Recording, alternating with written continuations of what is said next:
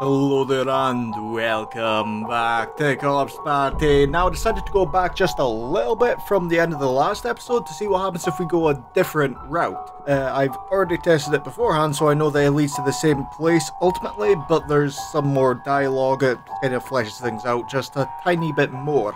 Also, I'm having to re-record this episode because the end of the recording, which was going to be the start of the last episode was very small and I would have had to record more to add on to it anyway.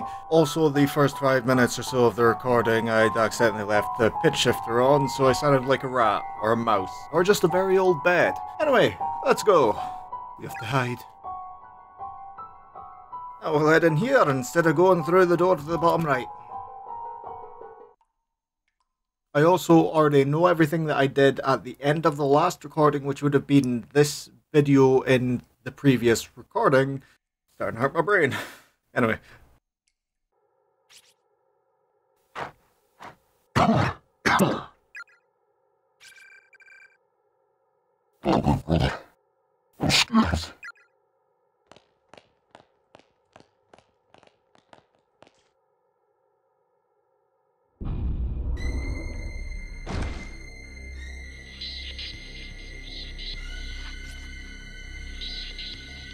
Didn't realize I could move. Get back. Get back. Get back.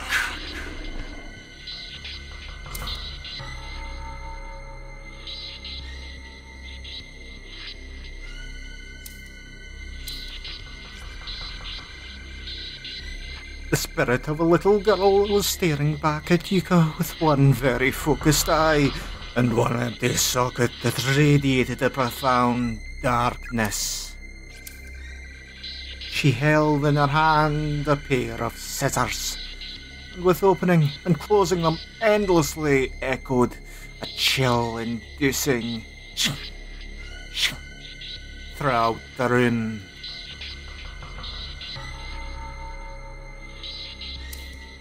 Give me back my eye. Eh, shiver shudder. The scented beads fell from Yuka's pocket, hitting the ground with a dull clank. Fuck, even.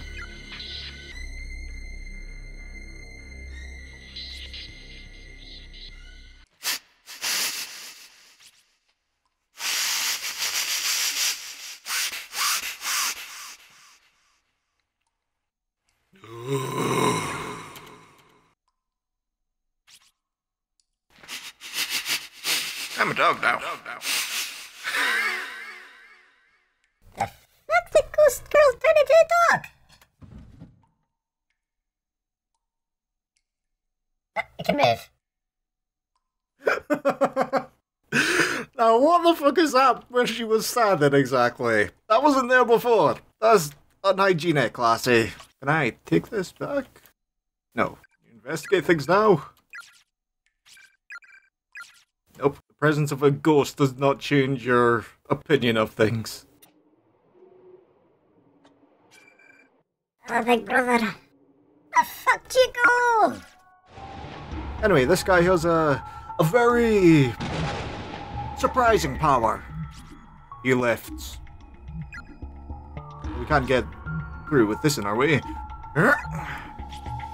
Ah! The glass door of the cabinet is completely shattered. There's glass shards everywhere. One of the shelves, you see a piece of floorboard that someone seems to have pried up. Take it. Sure, what could you go wrong? I mean, I don't really see why you'd put a a floorboard on display, but oh well. I mean, people have different tastes, I guess. Acquired list board. Lovely. Alright. Now I did also notice we can actually go all the way back with this boy all the way here. So I'm gonna need to explore the building with him. Just to remind myself, yeah, 312. Okay. Because at this point I've actually already solved that puzzle in spare time. And we've not actually found the third clue, clue yet, which we'll find here. It's a plaster bust, cheap and mass produced for use in still life paintings. Huh? Listened to that one before. Hmm. What's the matter? Oh, nothing. Probably just my imagination. Right. So we heading through here. Things are dark. And in its place there is a note. Number three. That. So this is the third clue that we need to solve the puzzle. Which I've already solved. Yes, I'm very useful like that. Using the code of 312, we eventually got search desk in music room, HT, side by the window, Sigger, desk from the back, Xenada. And I tried doing it with the other codec of 323123, but I just got gibberish. But before we do that, I'm wanting to further explore the area. This could very well be just a huge waste of time. A heavy cabinet collapsed across the floor here. The boards around it are creaking under its weight. Climbing over it would be far too risky. Well, we're not getting. Well, we're not getting through here with this in our way, so.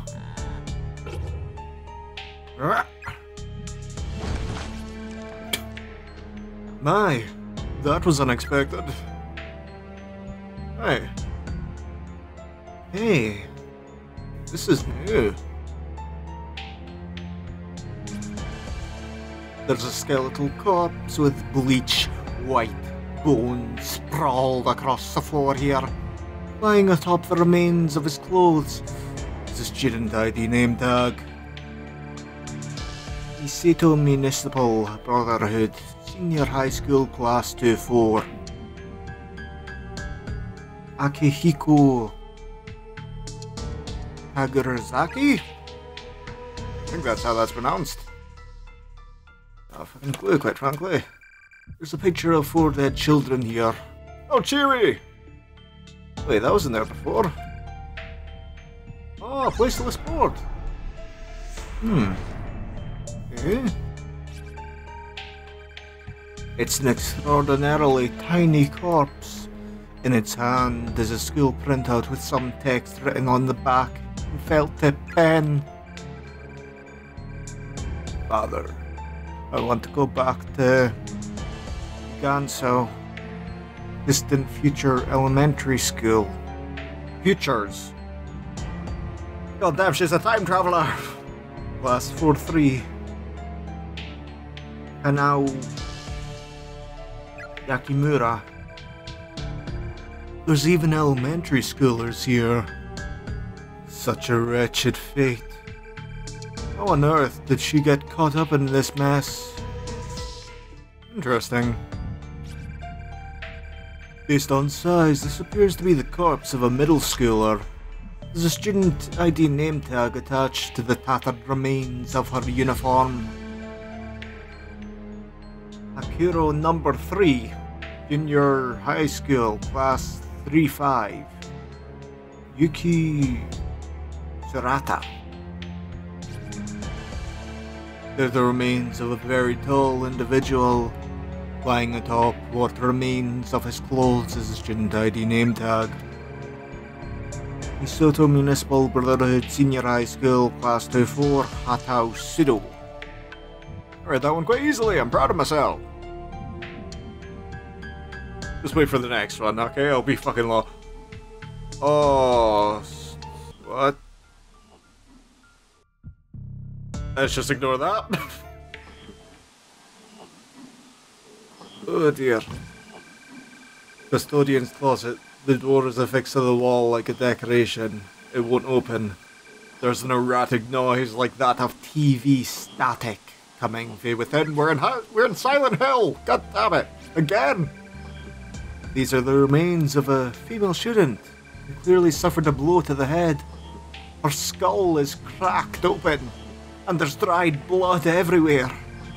Her broken glasses, as well as the student ID name tag, are resting across are resting next to her mangled corpse. The Carodan Senior High School Class 2-4, Emmy Rabi. Surprised neither of them comment on that. I'm gonna further explore the area, but I'm just gonna take a guess and say that we may get the key to the custodian's closet or something in the desk in the music room. I know, is a big pile of blood there? Yes. Oh, he's got nothing to say about it. Comment on the gore, please. Huh? Victim's Memoirs 3 of 5. Did I read this? Can't remember. Mitsuhara really isn't anywhere to be found, is he? I guess it's true. I'll probably never see him again. But I may have figured out a way of getting in contact with him at least. He left me a message on the teacher's desk in one of the classrooms. It's like, even when we're in different spaces, we can still communicate that way. But it's not enough. No warmth to be felt from the written word alone. I miss our fights impromptu wrestling matches. It's not just physical contact. What I want more than anything is to just see his face again. I want to be able to see him around, make small talk, ask him how he's been, what he plans to do after school. Those simple everyday interactions are some of my most precious memories now. What I wouldn't give to have those days back. Funny what runs through your head when you're trying to make frostbitten fingers move without cracking off. Here, Sounds like it gets a little bit cold here. In addition to blood, this particular urinal features a sickening cocktail of vomit and feces. Lovely! The urinals are filled with an extremely unsettling amount of blood. Well, didn't try drinking it. Those who choose to ignore the darkness that dwells in their hearts of man may be struck forever in a loop. But in this world there are some truths that simply must be known, regardless of how disturbing. Such as how there is no true and true meaning to anything. Nihilism 101. But clearly, but curiosity can be deadly, and the truths are best left untold. Beware the messages of the dead, for there be curses among them. Curses that can crush even the strongest of wills, demolish all semblance of reason. If you wish to protect your sanity, take heed. Do not let your curiosity get the better of you. Do not read the victim's memoirs to their conclusion. I've read this before. Oh dear. There's a nauseating smell emanating from the drain. There's a thick crust of mold and mildew formed around the edge of the mirror. Just being near it would make anyone feel diseased. Yeah, and the girls. Numerous teeth are floating in the stagnant water, many with gums still attached. It sounds like this was equal parts education facility and nursing home. Right. Hmm. Well, we're not getting through with this in our way, so.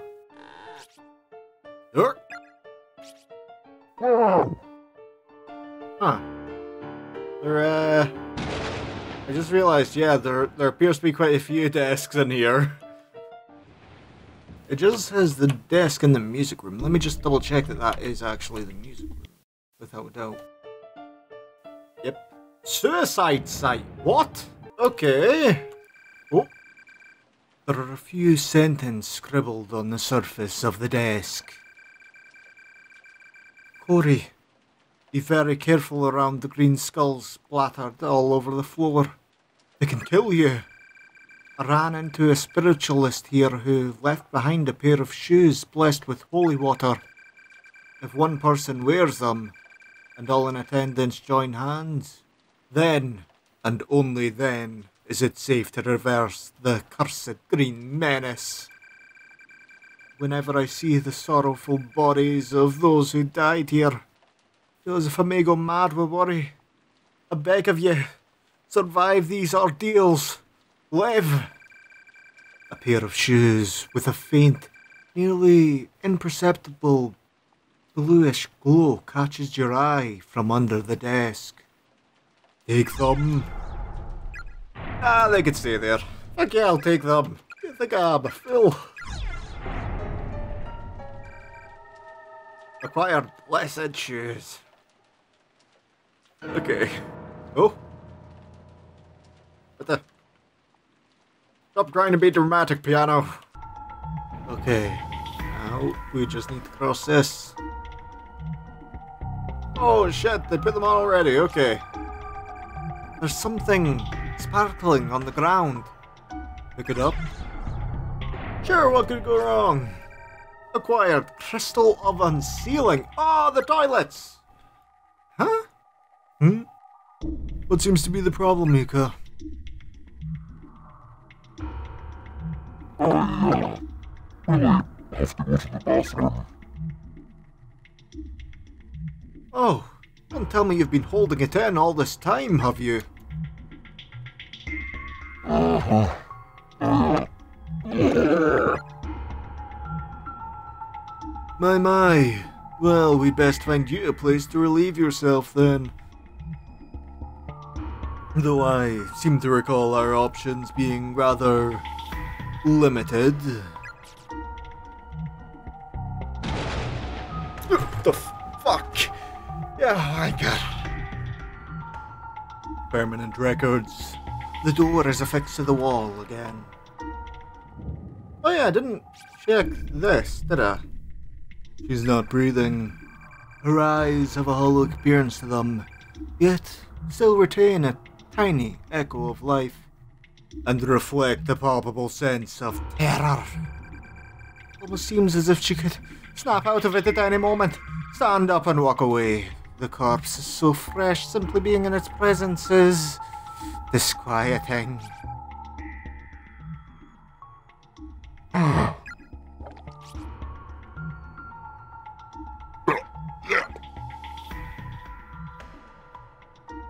Uh, are you alright? This is terrible. Such pure execution. All he needed would be a much smaller incision.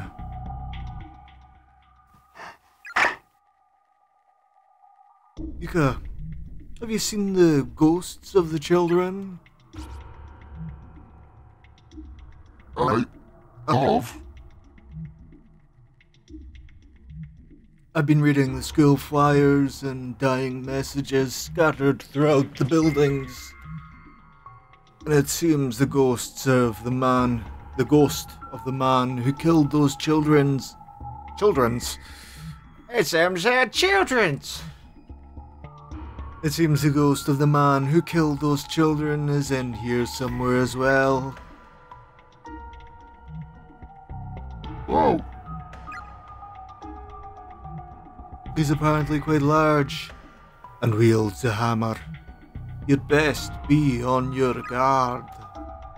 I've had a great many of my friends, many, many people, killed by that man and those wretched children.